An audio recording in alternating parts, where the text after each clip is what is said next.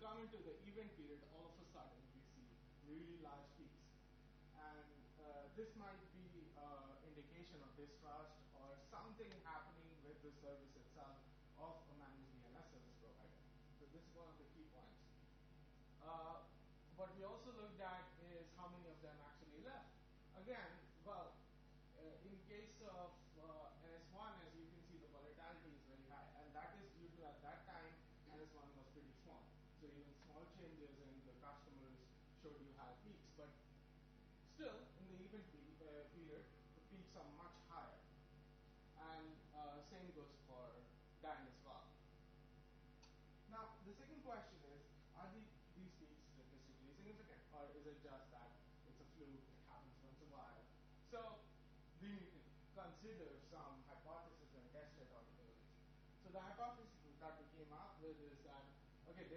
change in the behavior of domains that use an MDNS provider after a DDoS attack.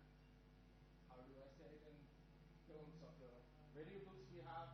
Okay, there is no change in the mean behavior of uh, mean of the behavior variables in the trend period and the event period. So we look at the means, and what we see is very pretty interesting. So uh, in case of Dyn, you see they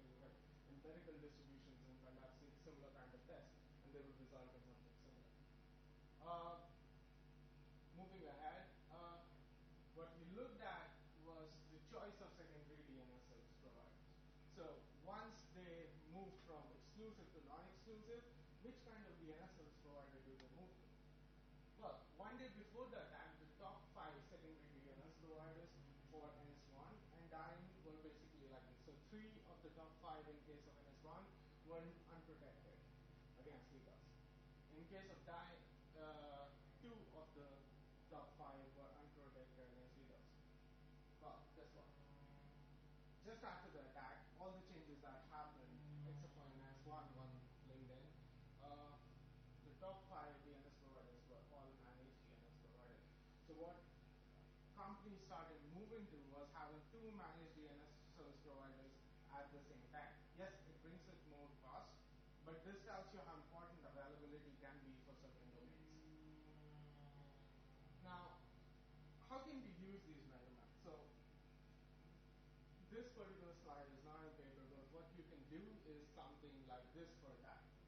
So if you use ARIMA, which is a autoregressive integrated moving average, you can actually try to speculate on what kind of behavior would you see in customers in the event period normally, depending on the trend period.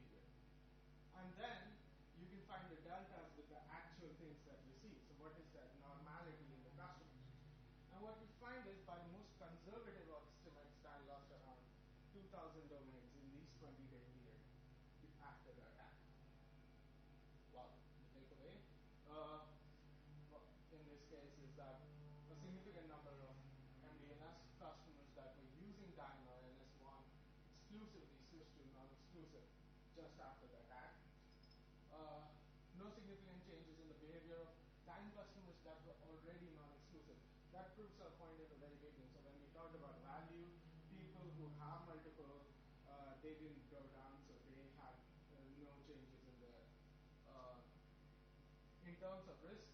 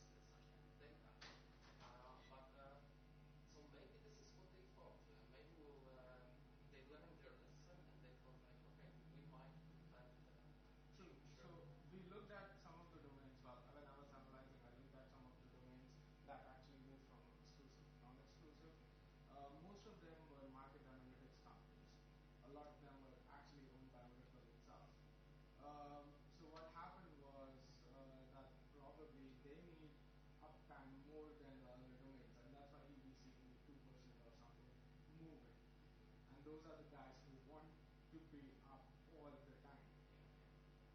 And uh, that's why they decide to move forward. So clearly they're, they're willing to pay a higher price. Yes. Uh, um, and I think there's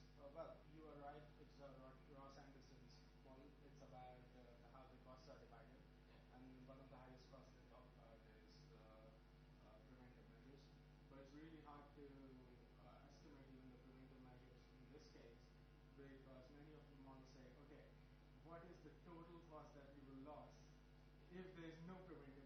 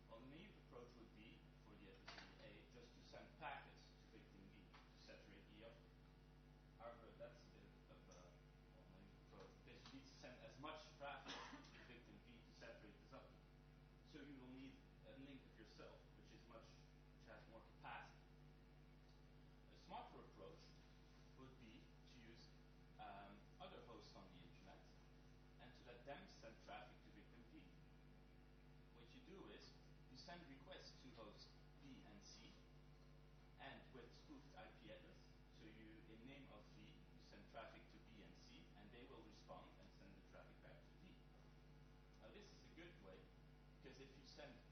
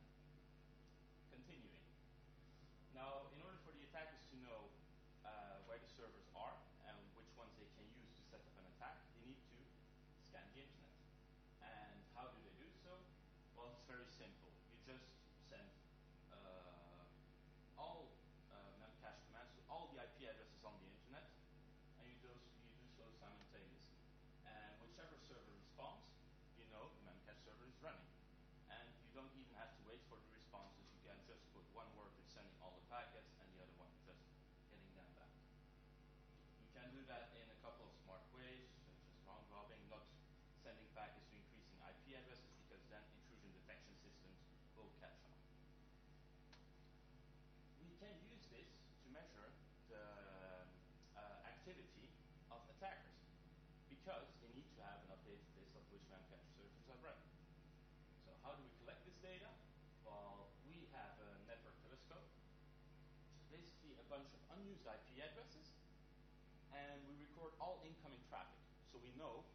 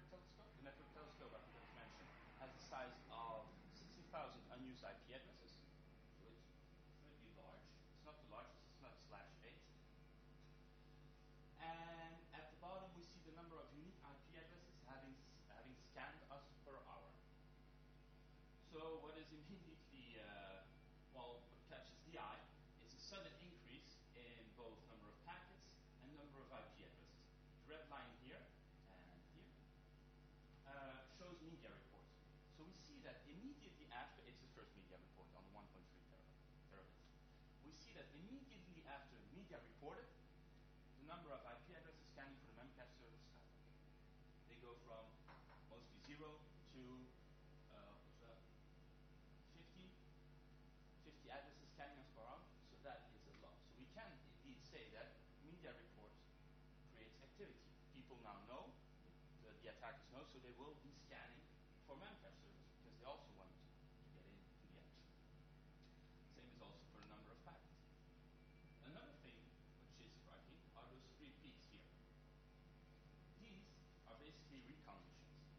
to our attack is that prior to the uh, media reports, they knew they could use abuse Memcached and they've started scanning the entire internet. So that could well be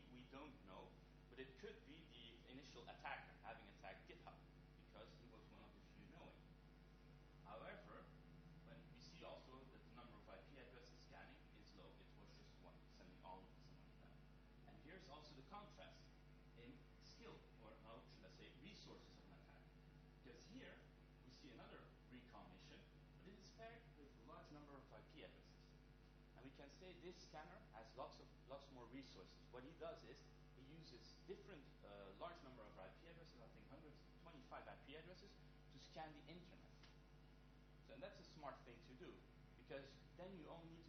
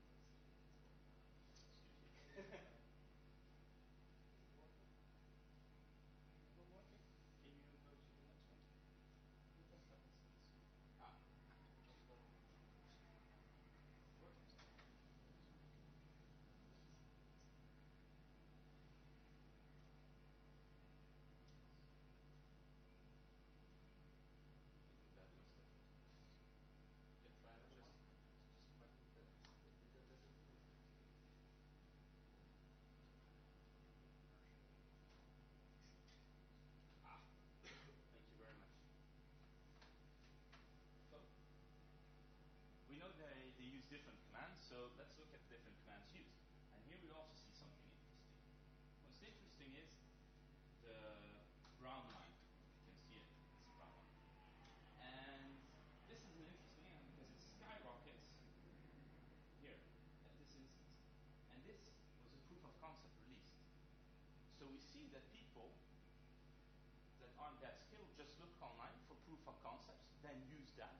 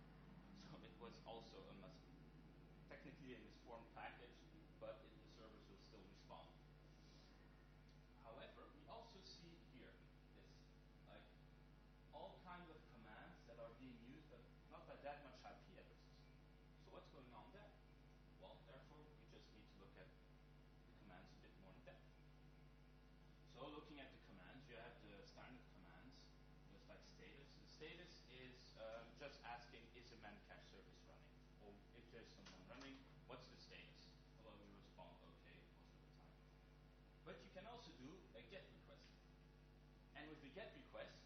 uh, if you scan using that, you'll see all of the resources. The server will send all of the resources with the matches you can make with what you send. So it's basically get me all of the stuff you have. If you do that too often, you could also DDoS yourself. So don't know if that's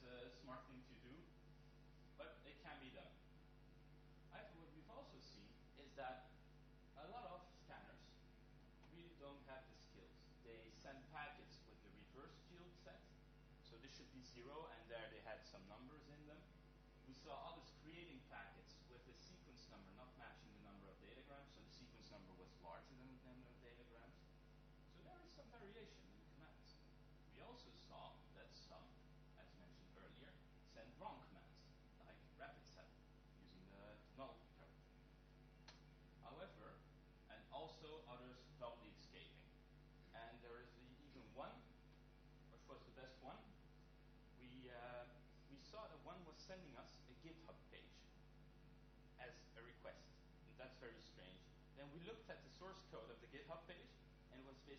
of concept, and it was a copy-paste command you had to put in your console. But somehow he messed up his copy-paste and started sending us the GitHub page. So in levels of skills, it's, it's a wide scale. And I am. So why do, send, why do we see all of these different commands, and why was one command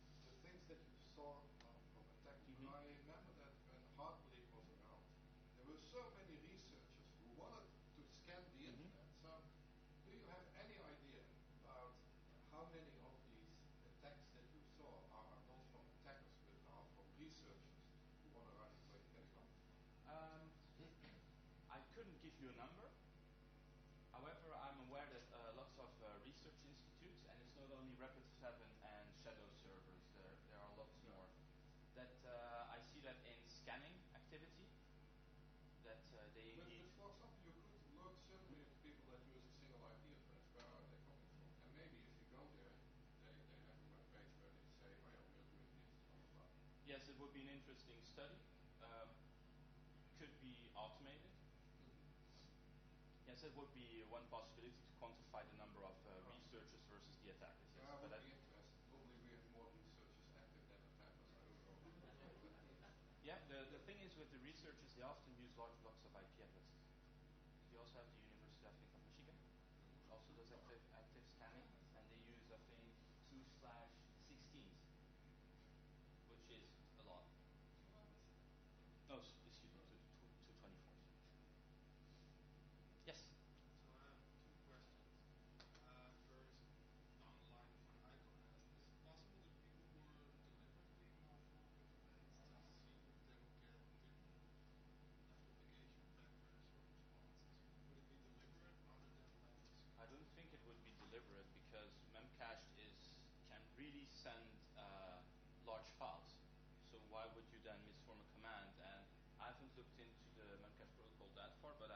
just get, if I recall correctly, an error stating that this isn't good.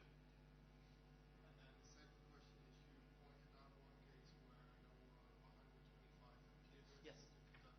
So I'm just curious if your document is slash 16.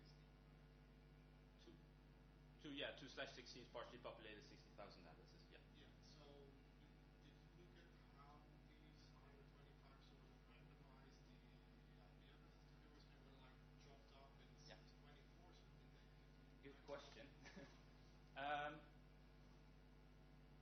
each IP address sent, I think, five packets to uh, incremental IP addresses. So it wasn't that smart. It was just an incremental fashion.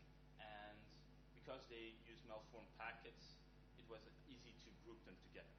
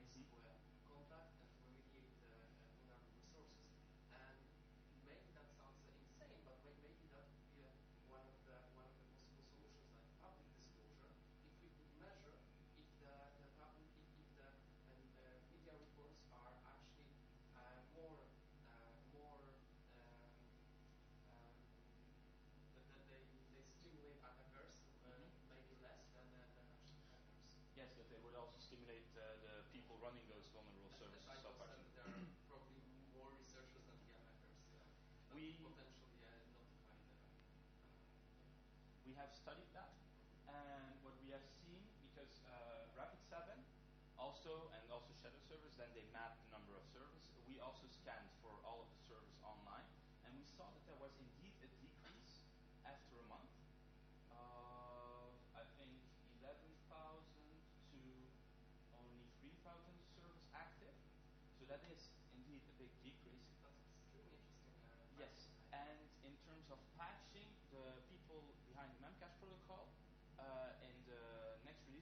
Disabled UDP immediately after.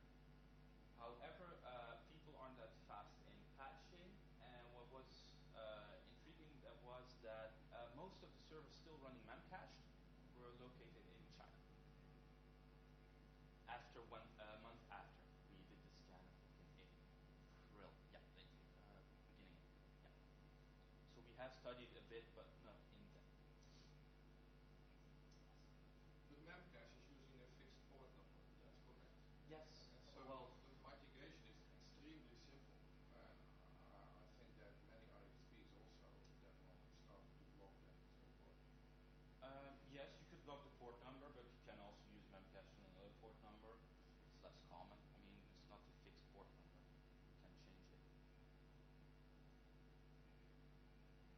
they, they just switched it. I think they disabled UDP and now they have to use TCP. And TCP, you could spoof, you could use it in an amplification attack, but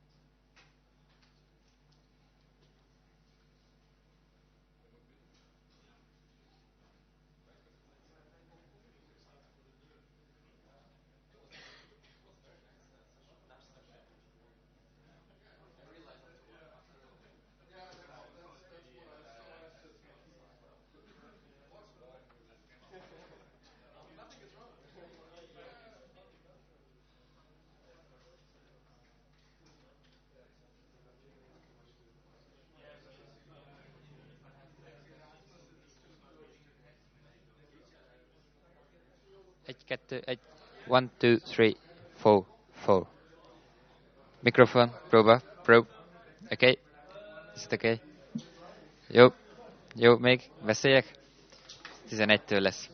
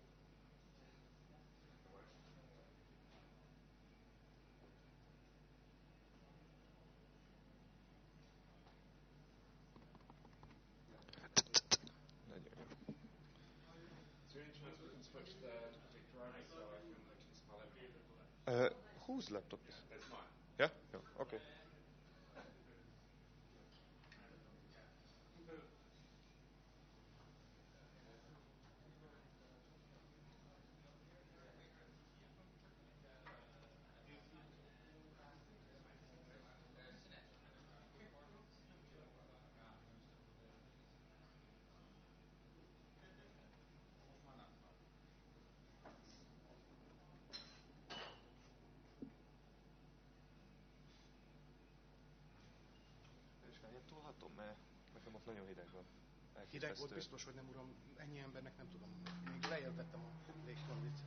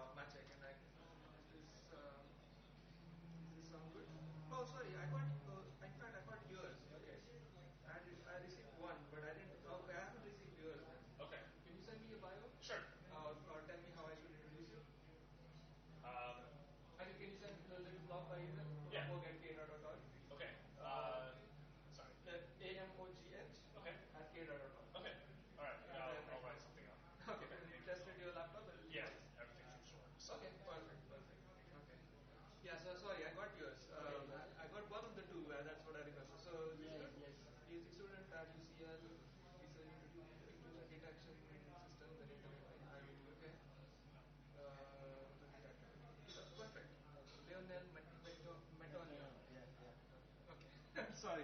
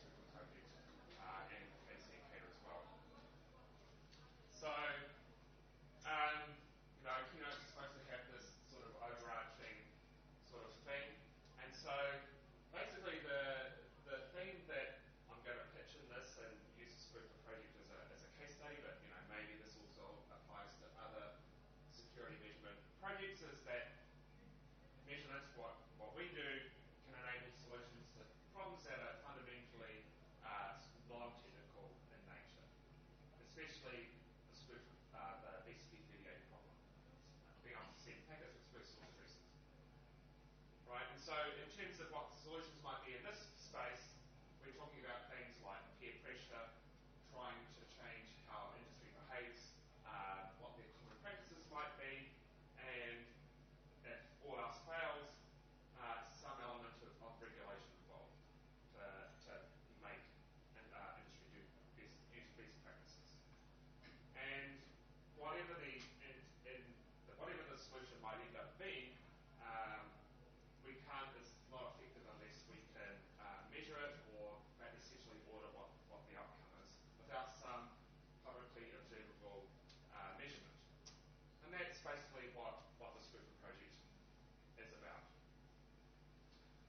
so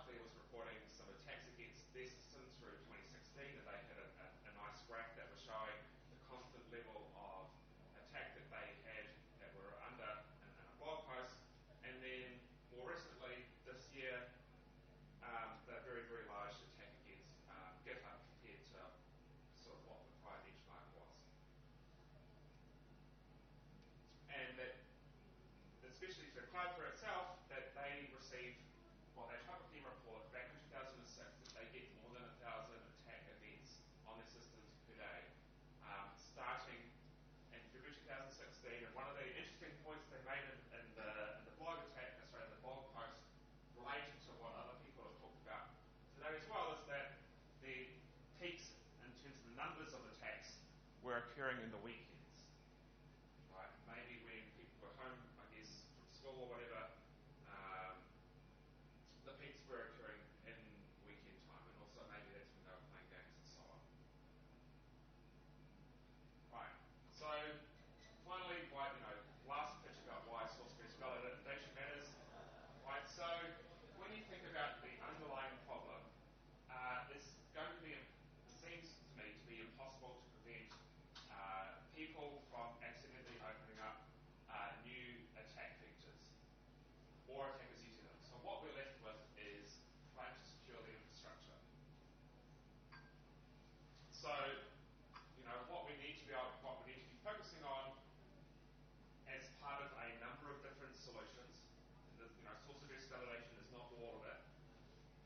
Um,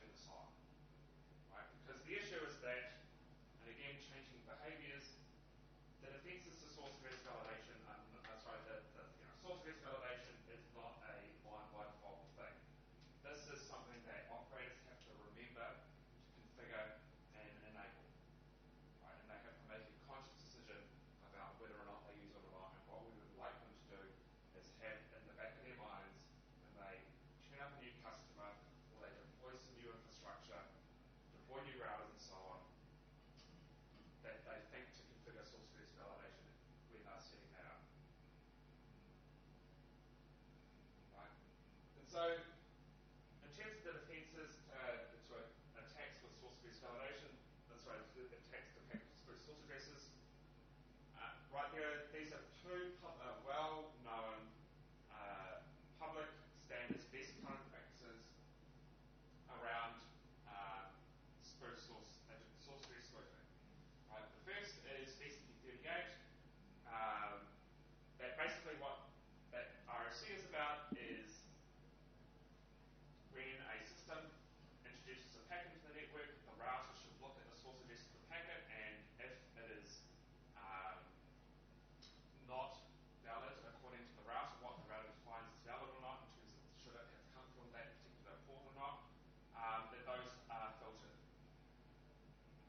because that's a very simplistic case, that a system has one immediate upstream, um, and it, it doesn't always apply. Right? And so for a network that's multi-home, there is an additional standard, sorry, an additional best current practice, best current practice 84, uh, that provides inside of that advice for how networks should deploy uh, source-based validation, especially in the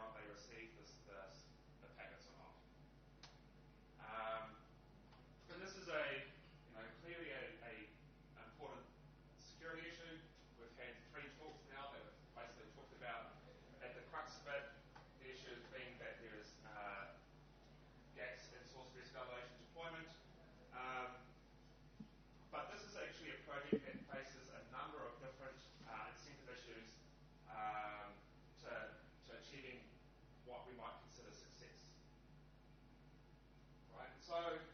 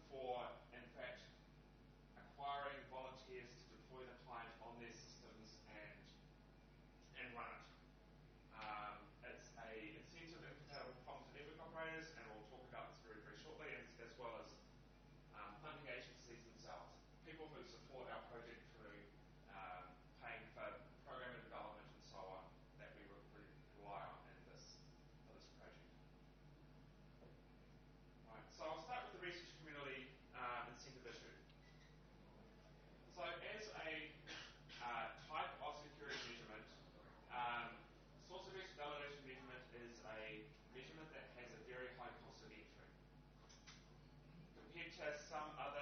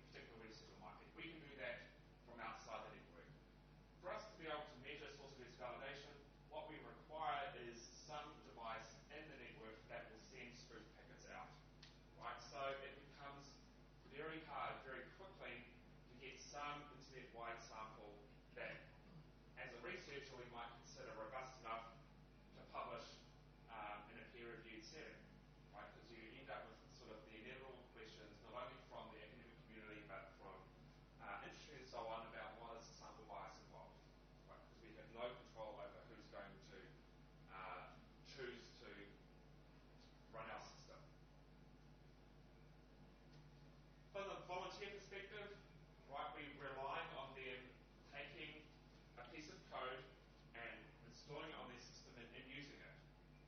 Right, so what are the incentives for a uh, person to do this? And this is not a, uh, a problem that's unique to this group of projects. It's kind of you know unique to any crowdsourcing measurement, including you know the, the classic SETI at home and so on. Right, what's the incentive for someone to do this? Right, so speaking example, I mean, few volunteers are likely to have been a victim of a denial-of-service attack, uh, or could probably individually contribute in a significant way. Like, I have declined for my laptop, and I would be measuring maybe tens of networks a year. So, uh, Vixie and his, in his a few years ago said, you know, that if we wanted the public to embrace the team measurement activities, we need some way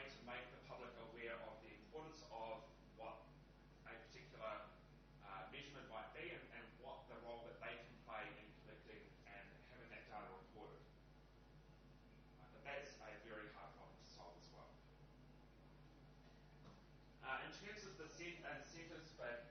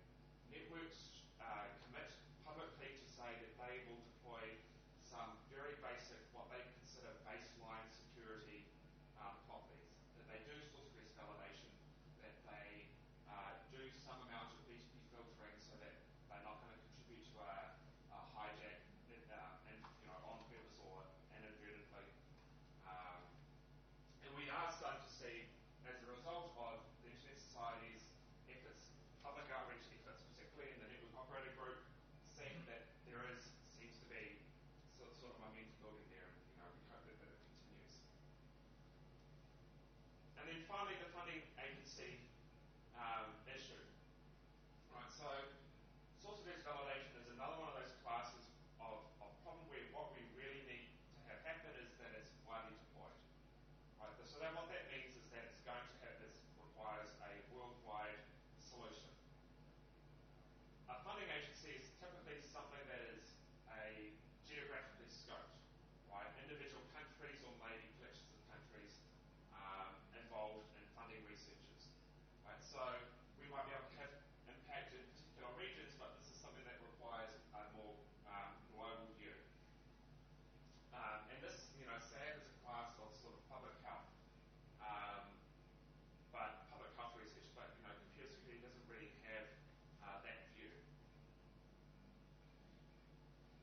So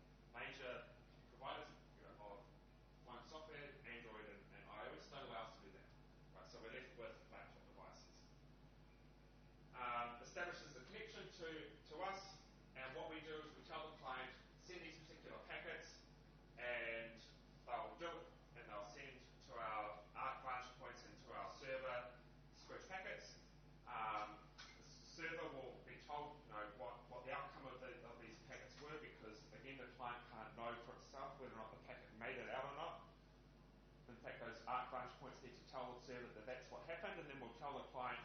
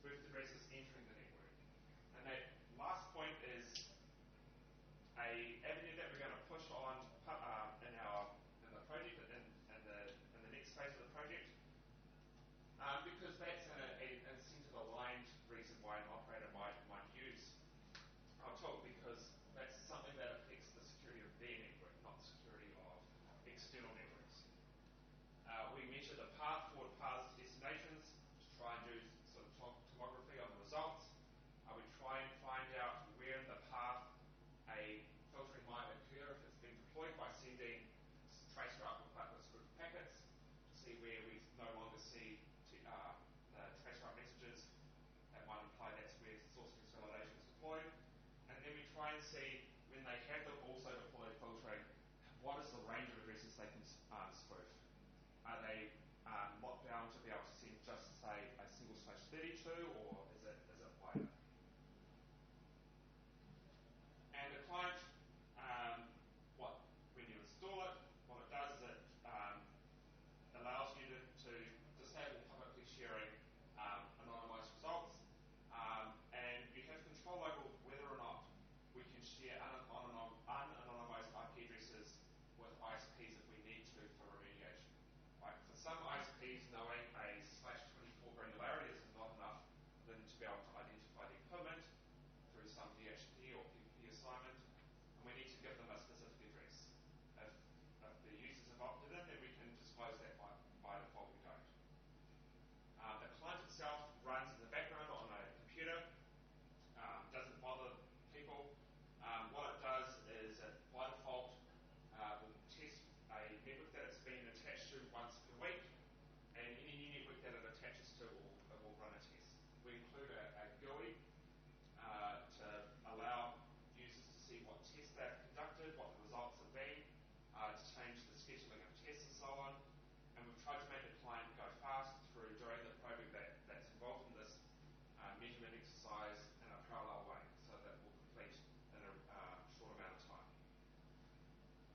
And this is sort of what the GUI looks like, trying to encourage people to use it is, you know, what we show us the dates involved, what the addresses are that the system's been on, what the outcomes of sending spoof packets out are, whether or not packets coming into the network are being filtered or not. In this case, at this particular time, um, packets with a uh, private IPv6 address were not blocked from, res- from reaching the client, but packets that were claiming to be in the same subnet as, as the client zone Spain slash 64, they were blocked.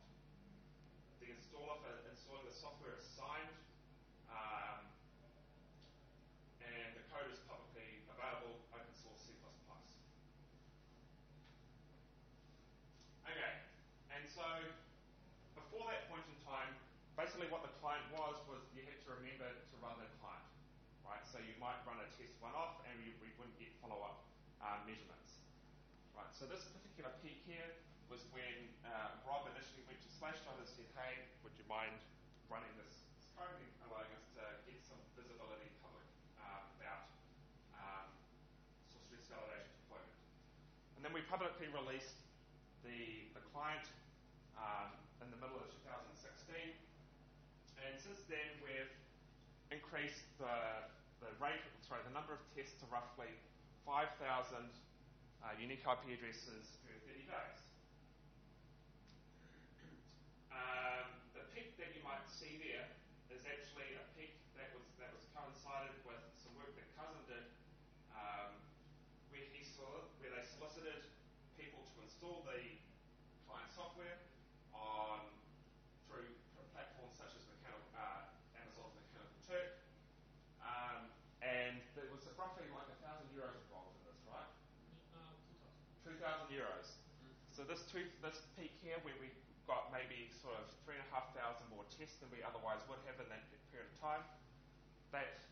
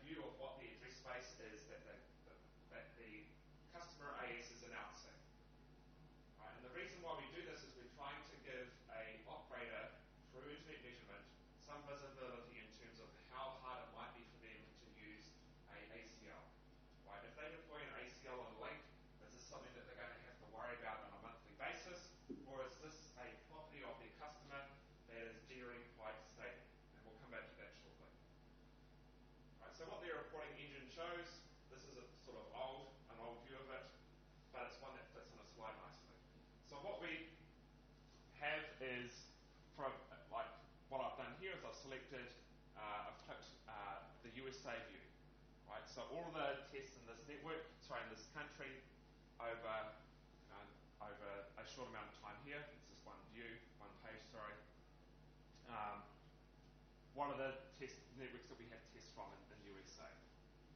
What we also have is the V4 and the V6 addresses, and those are anonymized. So that by default, we don't know who, you know, the public doesn't know who necessarily ran the test, uh, what the AS is, and then the outcomes of the test. Right, so we're anonymizing the addresses to a slash 24 in, in version 4 uh, and a slash 40 in version 6. Uh, this, so we're taking a very conservative anonymization in terms of um, if we take the view that a 64 is an endpoint identifier, then we have 24 bits of anonymization in the version 6 space. Because in practice, what could have been delegated to someone from, from, to a network may range anywhere from a 48 to a 64, and we don't know, so we're going to take a very conservative view of this. Um, we mark whether or not the client was from behind a NAT or not. Um, and the NAT behavior is quite interesting. Might be thinking, you know, why should I deploy this on a laptop which is mostly behind a NAT because the NAT will? Not true. Right? So there are classes of NATs that appear or might be involved in uh, filtering packets with spoof source addresses. But a large fraction of them just rewrite the spoofed address with the public facing website, sorry, the public facing address and forward the packet on. Um, so those are the rewriting cases. And then there is a bunch of NATs, like that one there, that forward the packet with the spoof source address on unchanged. Right, so if you're behind one of those NATs, you can send packets with spoof source addresses out. And then if you look closely at the results, what you can sometimes maybe intuitively guess at what's occurring is maybe the NAT isn't performing any filtering here, but the upstream ISP is, has deployed filtering and they're saying we only expect uh, only version 4 addresses in a slash 22 in this particular part of our network coming out. So that particular system can spoof up to a slash 22's worth of addresses from behind their NAT.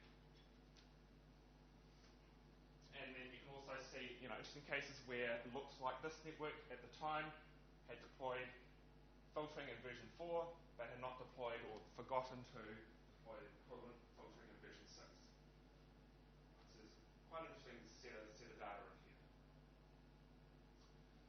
So in terms of sort of the, the overall outcomes, right, so I covered the yellow line before. But now we're going to focus on the red line, which plots the fraction of autonomous systems with at least one prefix that hasn't deployed source address validation on, and the fraction of prefixes tested, the green line, uh, that aren't blocking spoof uh, packets with spoof source addresses. Right, so what we see is that on the x-axis, roughly uh, anywhere between 5 and sort of 10%, somewhere in, that range, are not blocking packets with spoof source addresses um, from extending the network. And this includes everything, including the NAT cases. And the fraction of ASs involved is quite a bit larger, you know, roughly 30% of, sorry, roughly 20% of ASs um, aren't blocking in this particular slice of the data, which is all of the data. if we just look at the subset of data where there is no NAT involved, numbers are, you know, quite a, quite a bit higher. So roughly, you know, we have less, less tests because most people are from behind a NAT. We get roughly six seven hundred of these tests a month. But the fraction where you can send a spoof packet from is roughly 15% of prefixes tested and 35% of, of tested autonomous systems. Right, that's not great.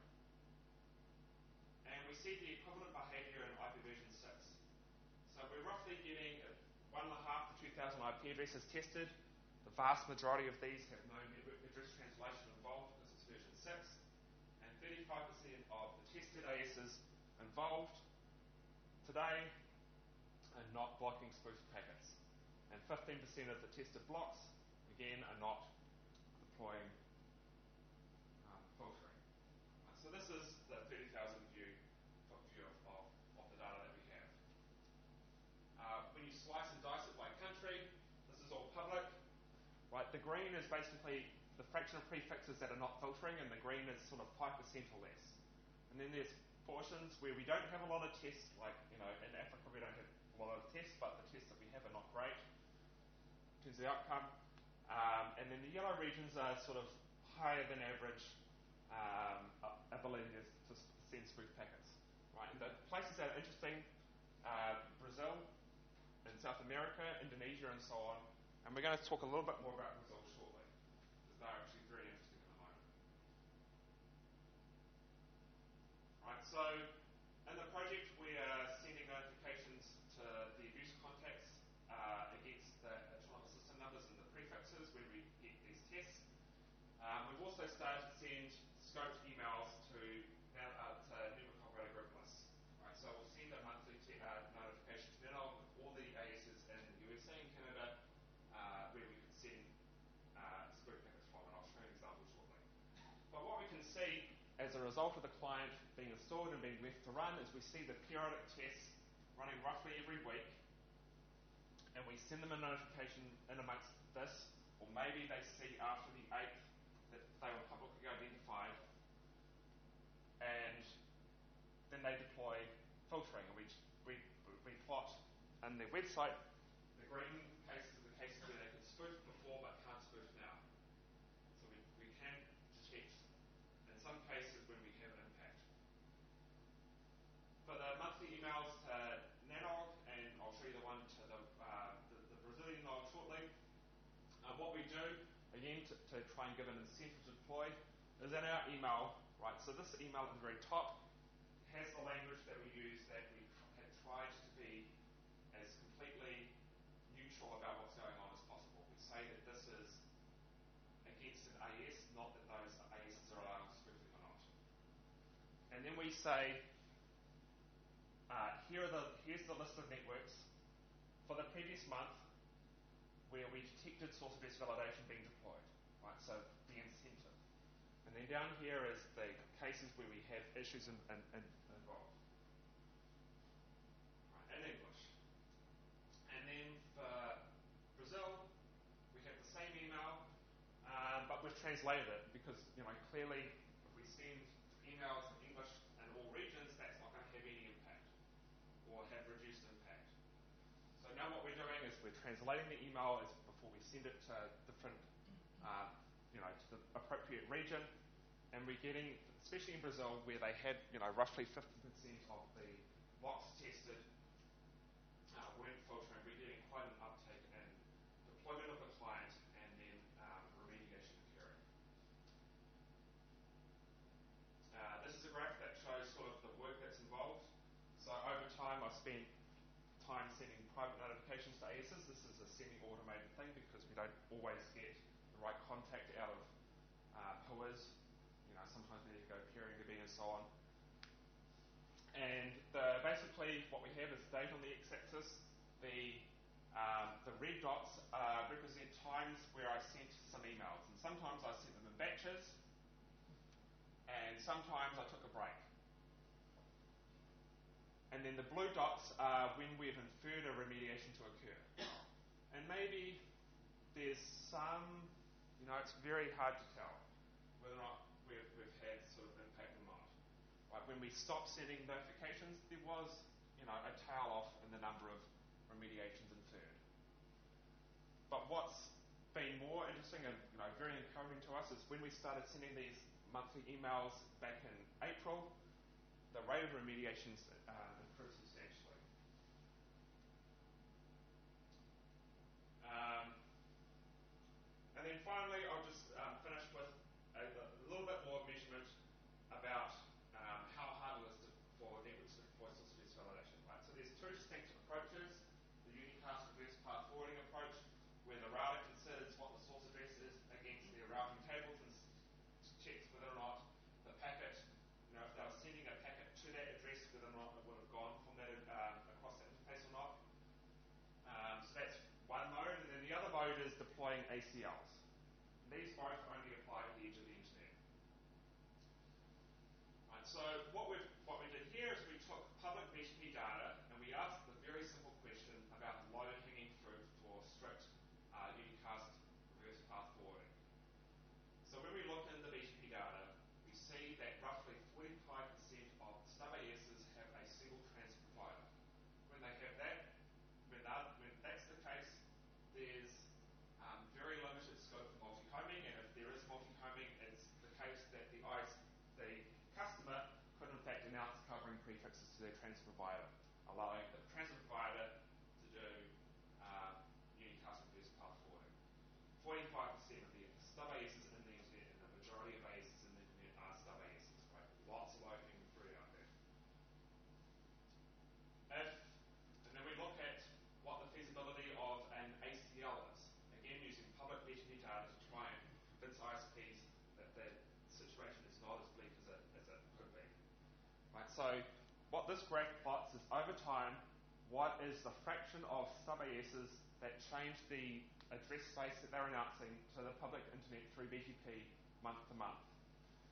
And roughly 3% of ASs announce different address space in v6, which is, you know, which is less than in v4, and that's what you'd expect because you get a prefix in v6, and it's probably enough for a, a long amount of time, and less than 5% in, in v4.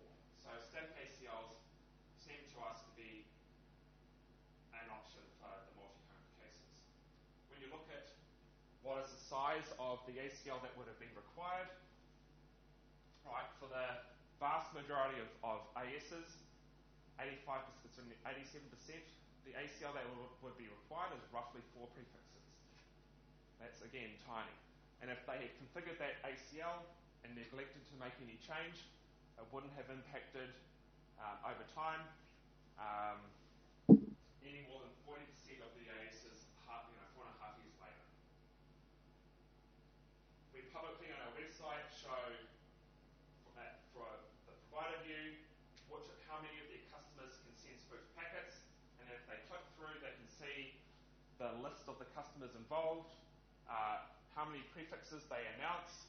They can click here and see what the address announcement history is over time, and get a feel for how hard it would be for them as a transit provider to, to fix the issue on their customer's behalf.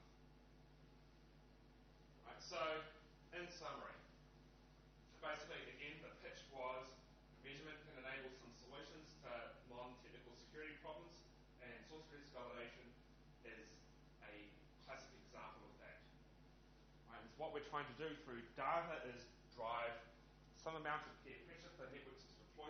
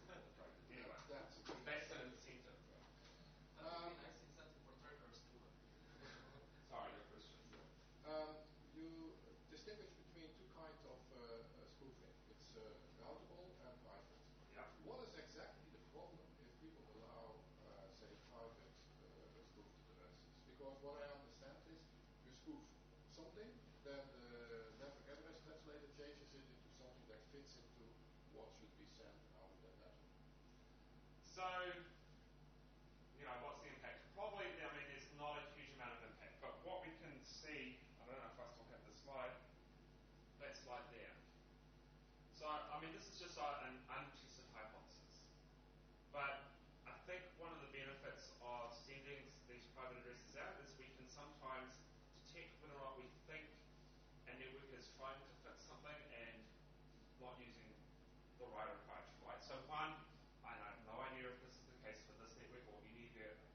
API was listed the, on the Remedy website where we're saying this.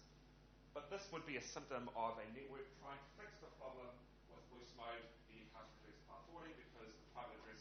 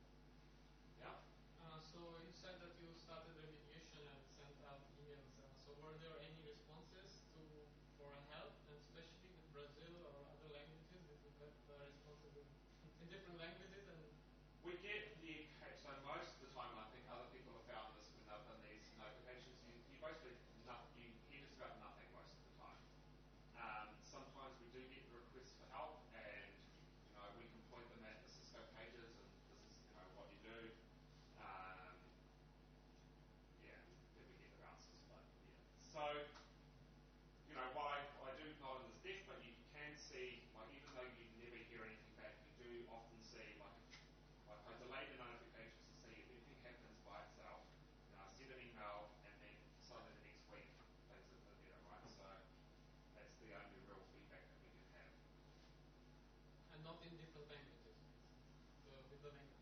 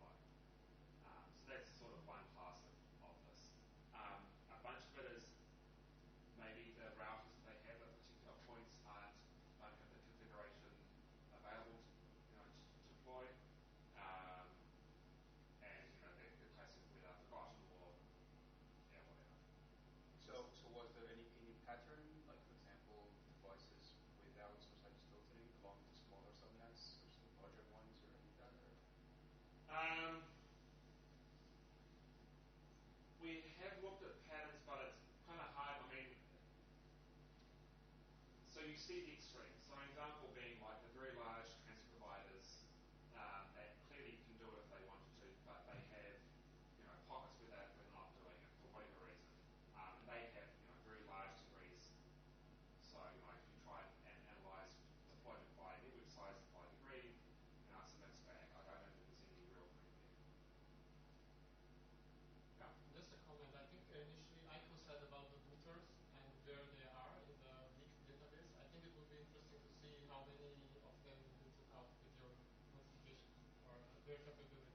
Yeah, so we've had just you know one anecdote on that.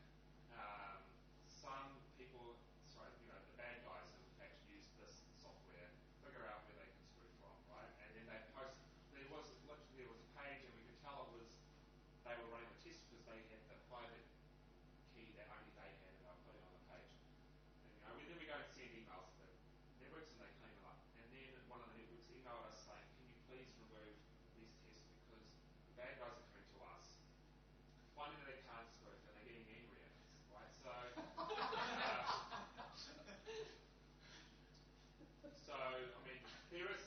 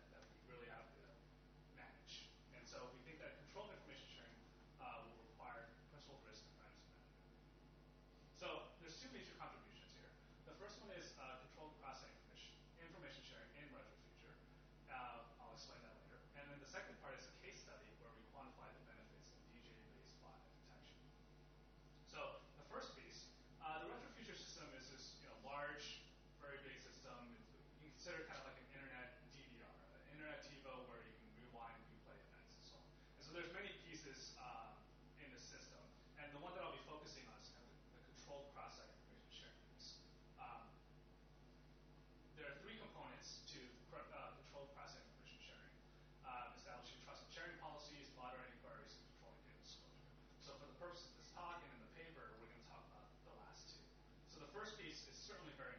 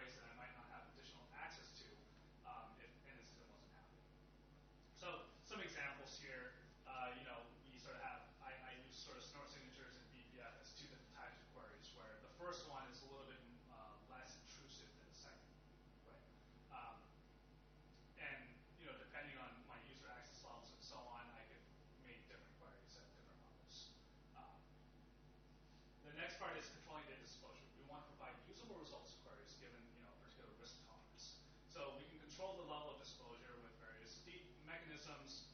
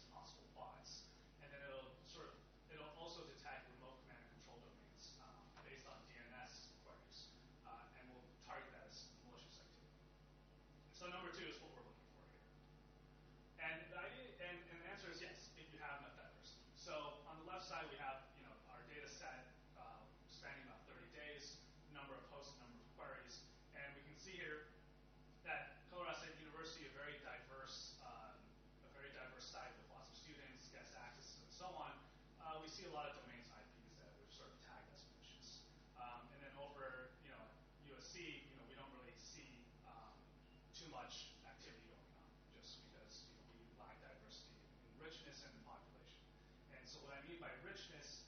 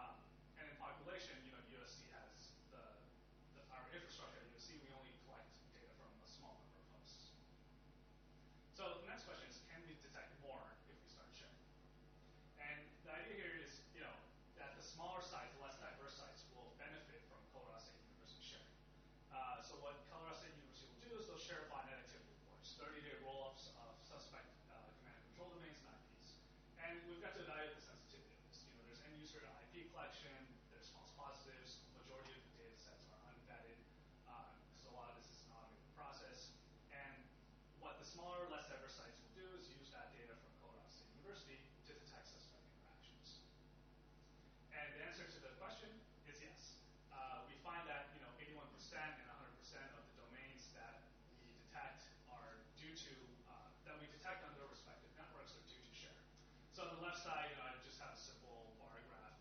The the, the hash marks um, indicate how many more I detected with sharing. Um, the y-axis is a log scale, just because uh, CSU detects so many um, domains and IPs, and so you can kind of see that you know with sharing we were able to see um, the suspect activity that we wouldn't have been able to detect otherwise. So takeaway here is that less diverse sites will benefit from sharing by more diverse sites. And the sharing sort of goes both ways. Uh, if what what, we, what I have here is sort of drilling down on, on a couple IP addresses, uh, is the number you know number of domains seen to a particular IP address, and so uh, number of distinct domains. And so the, for one particular case, you know, we can see that Colorado State University, for example, has sort of seen 26 domains attached to this particular IP address, and when we combine our views, you know, we get 44 new distinct domains for a total of seven. So large sites can also benefit by, from sharing um, by, from, by smaller sites. And then the last question is, uh, can we improve our detection sensitivity when we share? So here we're going to share sort of another level of detail. Um, currently, the problem is, well, not the problem, but one of the things is BotDigger's threshold for labeling malicious activity is, is 10 domains to, an, to a domain name. And so we want to use Retrofuture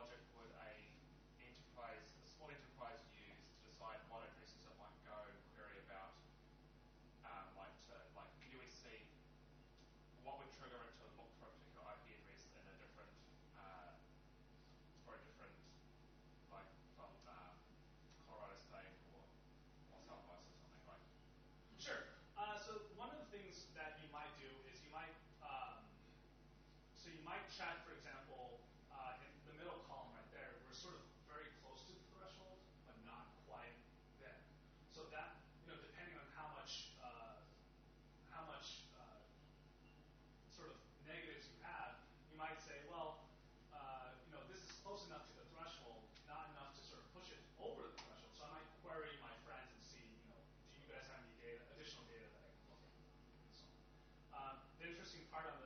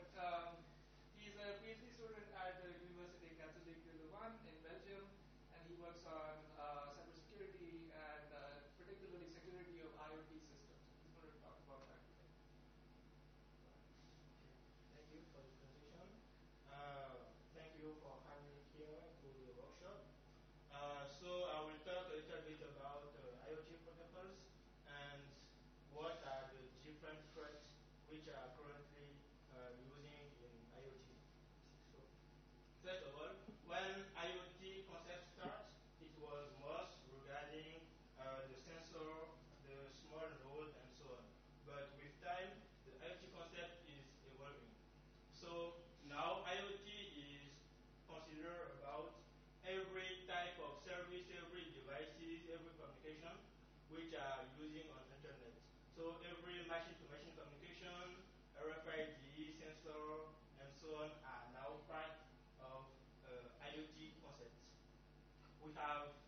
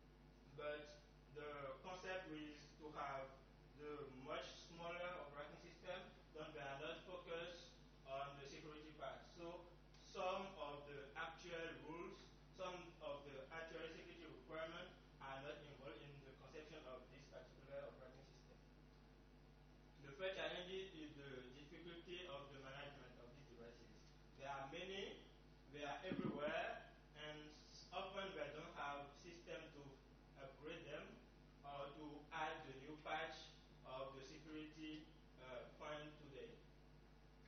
The fourth point is regarding the protocols.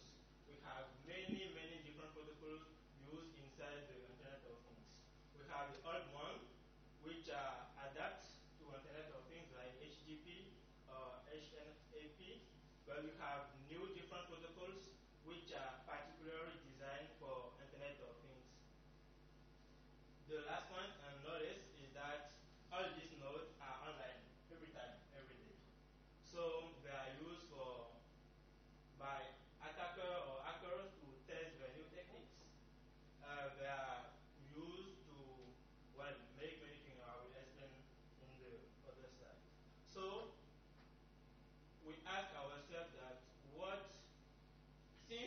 Clearly, we have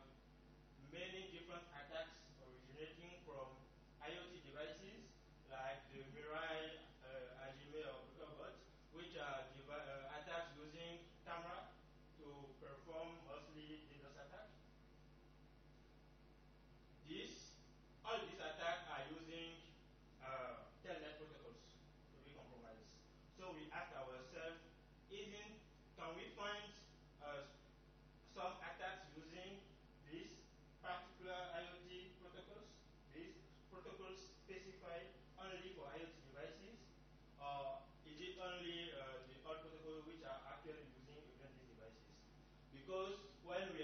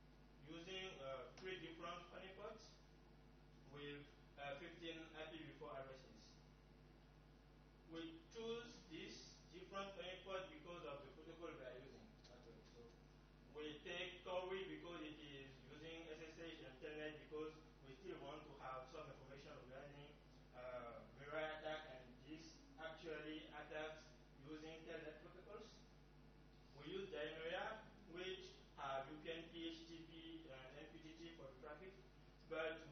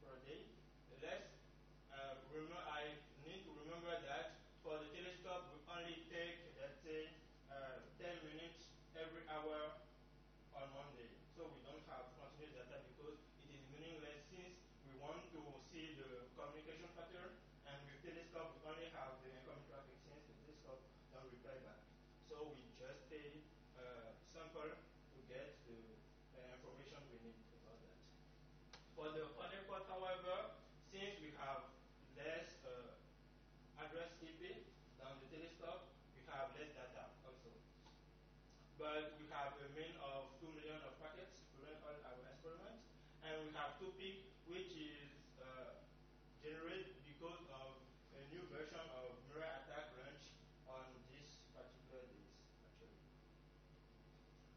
We take a look at the protocol distribution on the telescope and the honeypots. You can see that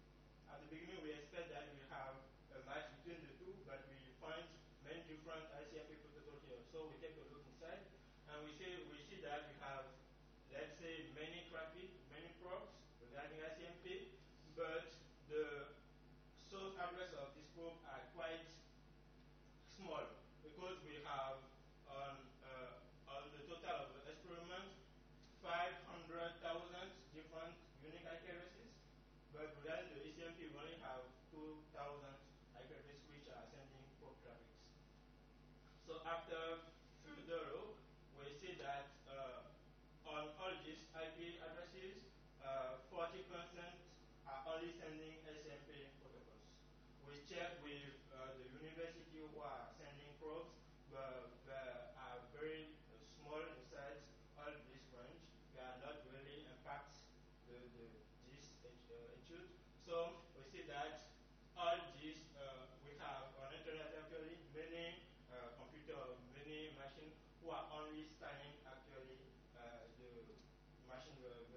freedom of one's. We thought at some point that maybe it is some NATs which are used, but after looking at the the DL, the DTL and uh, different uh, specificity in the SMP protocol, we found that it is the sensors which are sending, let's say, 30 kilo uh, probes per day, actually. We find that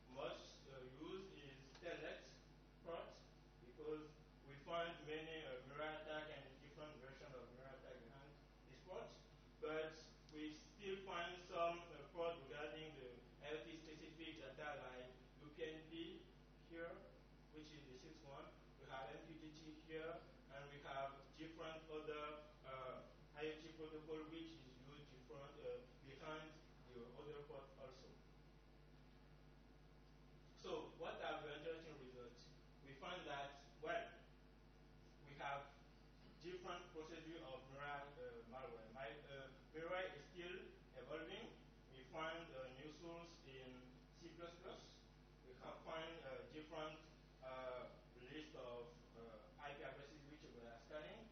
And one interesting part is that we found also that Mirai is actually installing some uh, cryptocurrency mining system on the different nodes. So uh, Mirai